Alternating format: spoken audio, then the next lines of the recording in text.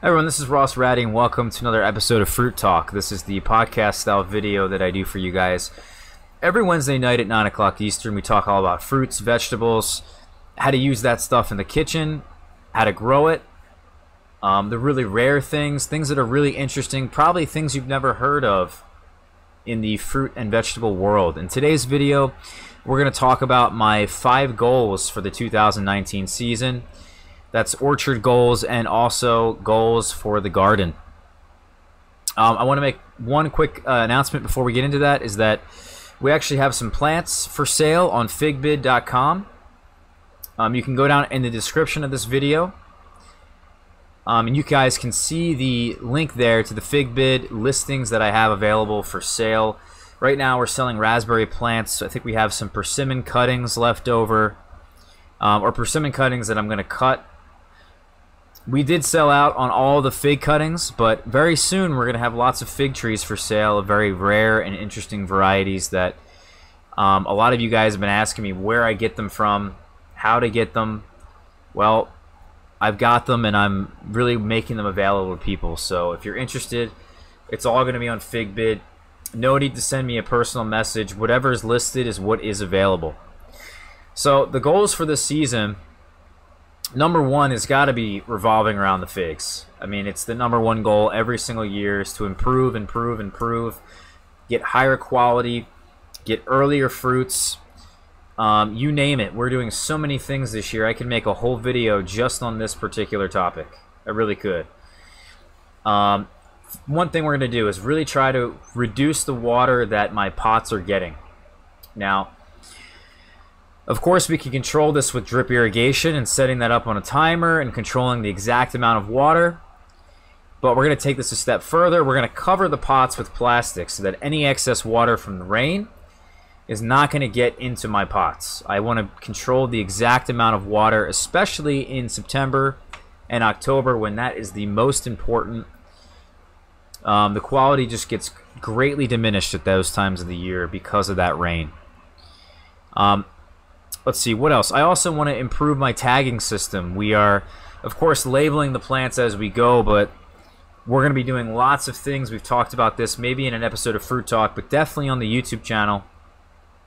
All about keeping track of really important data on each individual variety of fig, so that way we can quantify the data and make better informed decisions on what varieties we're going to be culling, because at the end of this year, we're going to be culling quite a few varieties. We're also planting roughly 50 varieties of figs in the ground as a really big experiment. I figured out really how I want to plant them, where I want to plant them, how to really increase my success so that I can get a number of varieties to survive the wintertime with either zero or minimal damage.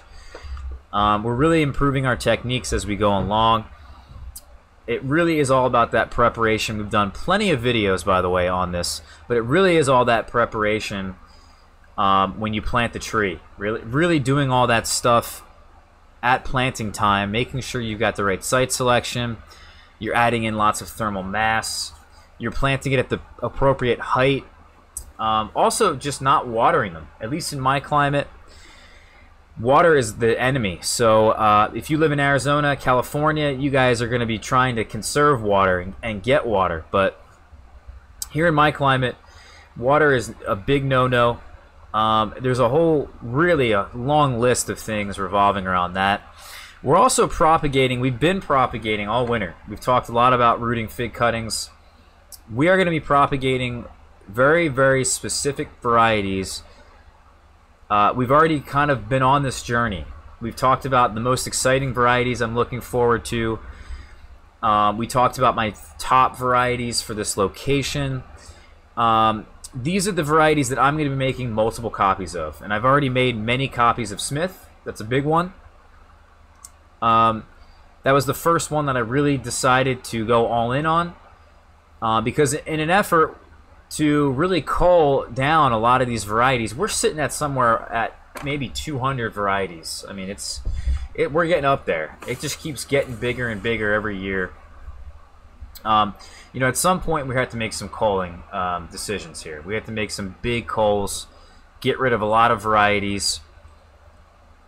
we've already done this. We've done this over the years. Uh, two years ago, I got rid of 40 varieties. Uh, last year, I think I got rid of about 20, 20 different varieties.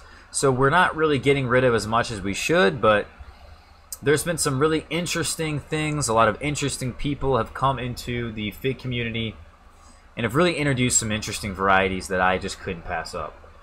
Now that we've kind of gotten through that, and I've really gotten through the the crap, um, we can really make some informed decisions with the quantifying of the data. Uh, you know, and then come in here with varieties that I know are proven to be successful that are going to be top top tier varieties here in my climate. I have a feeling that one, of course, is Smith. I have another feeling, feeling, uh, very strong feeling that Pastigliere is another one, as well as uh, another fig called Campaniere. I think those will be probably in my top three. Ischia Black maybe uh, will be the next the next one into that as well. We'll have to see what happens with this season. Another big goal is to find different flavor categories, and that's why I've got this photo up here for you. For those of you guys who are watching on YouTube, um, this flavor uh, categories here is in the spreadsheet, in all the descriptions of my videos. We've breaking this down every single year and described, you know, really what um, the differences are in the flavors of figs. And without a doubt, I have to say that uh, we're getting more and more information as we go along, as we taste different varieties. Things are becoming a bit more clear, and I think there's even more flavor categories out there that I've yet to come across. So we're really going to be interested in in trying some different varieties that I think could fill a whole new slot in terms of flavor. I think Cora Black is probably one of those figs. We'll see. Maybe uh, Gris Olivet um, there's a few figs I added this year that might be able to fill that gap. Also, um, the second goal of the year, because we covered a lot on figs.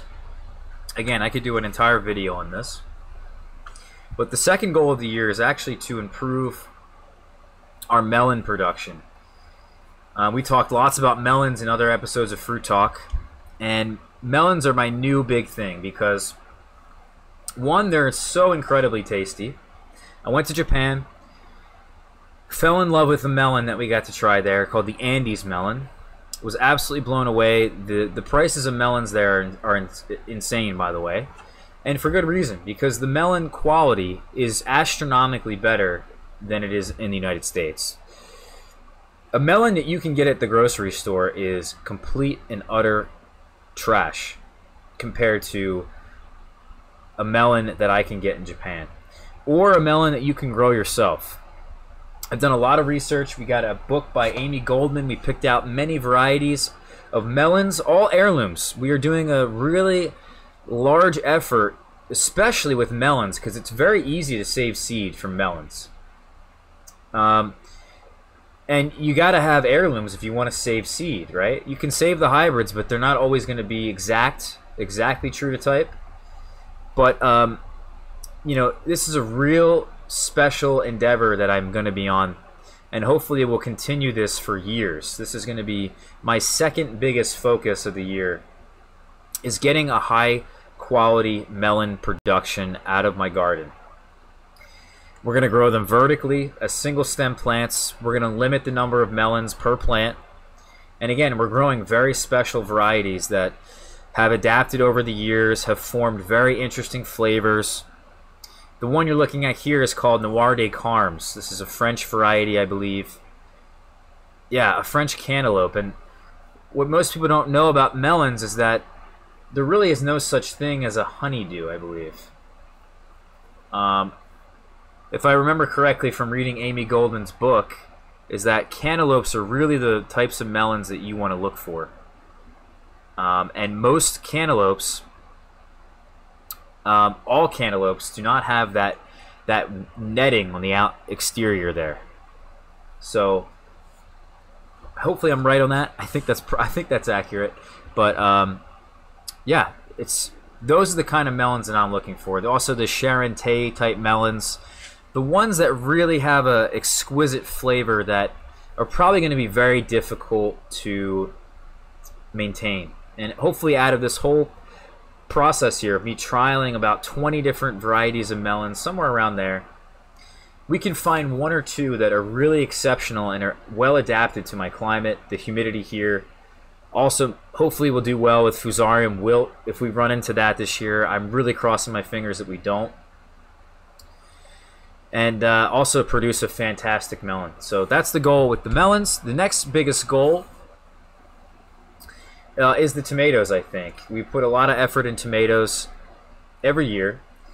Without a doubt, growing them as single stem plants vertically, just like the melons, is the best way that I have found to grow them. Uh, we get them uh, much later in the season because we don't have blight. We don't have blossom end rot. We have no disease problems on our tomatoes. Even though we get 40 inches of rain, we have a very rainy fall, very rainy summers. I have absolutely no problems. I get some cracking here and there, and that's about it. Again, we're doing a very um, heirloom style planting this year. Almost everything I'm growing is heirlooms, no hybrids. Uh, with the tomatoes, we did actually get in, uh, very heavily into Amy Goldman's book as well. Found some really special varieties, uh, even some currant tomatoes. I'm trying out a currant variety this year. I'm also trying uh, a number of different um, cherry tomatoes. We're trying some salad tomatoes. We're trying some big beefsteak tomatoes. And we're also growing tomatoes for sauce. And I've done some really good digging around and trying to find some great paste tomatoes to make some incredible sauce. We're going to be um, trying to get as much water out of these tomatoes as possible. I do not water my tomatoes. I do not water my melons. Do not water my figs very much. All of that should be dry farmed. The less water, the better the flavor, the better the Brix. Really does increase that flavor. Now, the other thing we're going to do with the sauce tomatoes, the paste tomatoes, is that we're going to hang them up. We're going to string them up, let them dry a little bit, let them get rid of some of that water, and we're going to have a real intense tomato sauce. Um, I've seen it. I've got to try it at this restaurant at um, the Italian market in Philadelphia. It's called Monsu. They told me exactly how they do their tomatoes. I was blown away by how flavorful they were. And I bet you the varieties that they're using are just your standard Roma type. Think about if I'm using some real interesting heirloom paste tomatoes. Uh, it's just gonna blow. It's just gonna blow me away. I think I'm to be addicted. We're to can a lot of it, have sauce hopefully for the entirety of the year, etc. The fourth goal of the year is going to be revolving around vegetables and particularly getting things that are more problem free, easier to grow. Swiss chard is the first one that comes to mind. It lasts all season long from the beginning of the season, even all the way through December. We were getting it. It was still growing, it was still living outside we're also going to focus on season extension in the fall. I think I'm really going to build some. Um, we're going to build some of those glass door things. What are those things called? Oh my god. They're wooden boxes with glass on them. Essentially, that's a season extension, kind of like a mini hoop house. Um, and that's what we're going to do really is focus on varieties and also different species that will survive the winter that will survive the heat of the summer that are just really well adapted. We've, we put a lot of time into researching some Asian varieties of vegetables, things like Chinese broccoli, kailan, things like choy sum, komatsuna, tatsoi, bok choy as well. Things that are really just going to put up with the earlier part of our season, right? That's not necessarily very difficult to grow in, but then we've got things that will do exceptionally well throughout the heat of our summer. They won't bolt. They're very easy to grow. They're hopefully pest free or pest resistant. And uh, we'll have a really amazing summer of vegetables. That's my that is a big goal of mine. Uh, the next goal here is revolving around persimmons and pomegranates. As my number two and third favorite fruit, and having them so for so long now and growing them for so long now and uh, being obsessed with them for so long, I really want the fruit numbers to crank it up. We've got about 12 different varieties of pomegranates. A lot of them have flowered but haven't bared, and it seems like um, they're putting out male flowers or only putting out female flowers. They're not putting out both, and I'm having really a bit of an issue getting them pollinated. I may have to hand pollinate a lot of these things. Um, really focus on, as we've done in the past, really letting them go. We're not pruning them. We're letting them form, hopefully, spurs. They're getting to a really old age now. They're in their third or fourth year for a lot of them. And this is really the time they're going to come in. We're going to see what the production's like in, a, in 10 gallon size containers. We also have a variety called Salavatski. There's a video coming out on the YouTube channel talking about Salavatski and how that one has survived our winter with a 2 degree Fahrenheit low with absolutely no damage. Not even a single shred of damage. Not even from desiccation. I'm blown away. Salavatski, a Russian variety of pomegranate, has survived the winter here with no issues. And it's also a reliable fruiter. I know lots of people in 6B. I have four friends in the area in 6B, in a colder part of Pennsylvania than myself, um, that are able to overwinter and ripen a full crop of Salavatski in their yards. So the, the pomegranates are coming along, hopefully. Um, in addition to this, the uh, the persimmons, we've got a lot of them planted all throughout the yard. I went nuts. We have about, let's see, one, two, three, four, five, six, seven, eight. We're going to have potentially nine persimmon trees in the ground. Uh, we have a very large Rosyanka that is a hybrid, uh, gets through the winter no problem, puts out really tasty fruit, by the way. Has Asian um, Asian Asian persimmon flavor in it, and it is going to bear. I think this is the year. I've also learned that less fertile soil actually will help them bear better. So we're gonna try to decrease the growth as much as we can. I'm gonna. I've been building up the soil in that location for so long what I'm going to do is actually take away a lot of that mulch and let the tree just grow in the native clay. Uh, believe it or not, that is the, the answer, I think. Um, so we'll let them grow in a less fertile soil. They should be more productive, but also this should be the year for Rosyanka. I'm expecting huge numbers of fruit. I'm expecting like 200 fruits just off of that one tree. Um, I think my tree can handle it this year. It is massive. It's super strong. A beautiful form. Really well structured. And we're going to be enjoying, as this picture is showing you guys, dried persimmon all winter. That's the goal. There is nothing, uh, except for a date, that beats a dried, in terms of dried fruit, there's nothing that beats a dried persimmon. Um, I think dates are up there. And are probably better, but uh, you can't grow dates here in Pennsylvania.